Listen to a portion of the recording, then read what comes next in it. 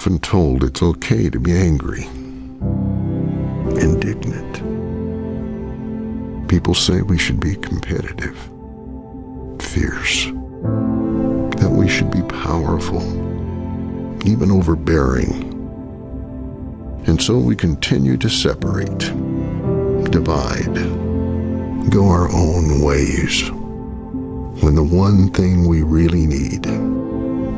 the thing that would help us see each other as God sees us, to grow more kind, to be more loving, to feel more whole, is to be one